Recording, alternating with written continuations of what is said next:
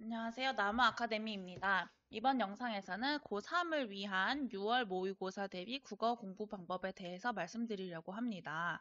6월 3일 목요일에 실시되는 고3 대학 수학능력시험 모의평가가 한 달 정도밖에 안 남았는데요. 우선 여러분들이 3월 학력평가에서 접했듯이 2022학년도 수능부터 국어 영역이 이렇게 달라지죠. 1번부터 34번까지 문학과 독서가 임의로 배치되고 35번부터 45번까지는 본인이 선택한 과목의 문제를 풀게 됩니다. 보통 문학은 지문 4개, 독서는 지문 3개가 나오죠. 이때 독서 지문 1개는 주제 통합 지문이 나옵니다. 그리고 화법과 작문에서는 이렇게 언어와 매체는 이런 식으로 출제되겠죠. 이거는 그냥 넘어가도록 할게요.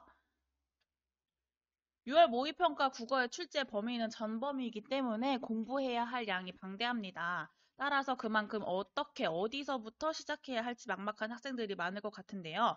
여러분들이 가장 먼저 해야 할 일은 취약점을 확인하고 보완하는 일입니다.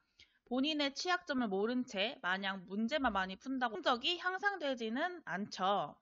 혹시라도 지금 본인이 최상위권도 아닌데 기출문제만 주구장창 돌리고 있는 학생들이 있다면 당장 멈춰야 합니다. 그리고 본인이 어디가 취약한지 잘 모르겠다면 3월 학력평가 또는 고2 때 봤던 모의고사 시험지를 꺼내서 본인이 틀린 문제의 영역 및 유형을 확인해 보세요.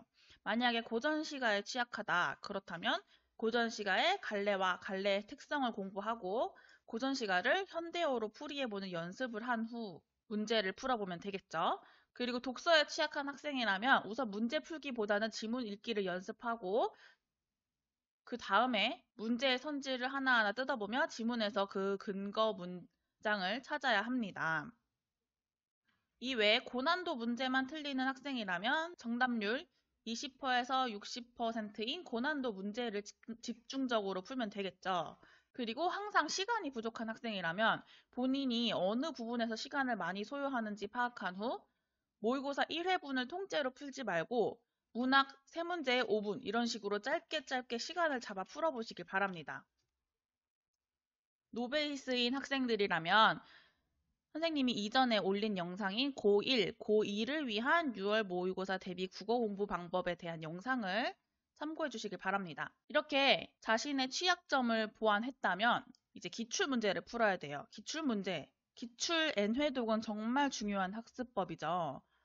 자신의 취약점 보완한 다음에 최근 5년간의 모의평가와 수능 기출 문제를 풀어야 합니다.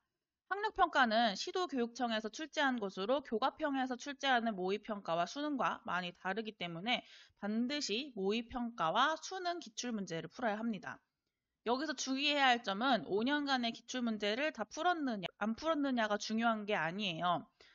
3년치만 풀었어도 해설을 보고 오답까지 꼼꼼하게 체크해서 풀었다거나 또는 2년치만 풀었지만 2년치 문제를 두세 번씩 풀고 오답 정리도 꼼꼼하게 했다는 것. 이게 중요한 거죠.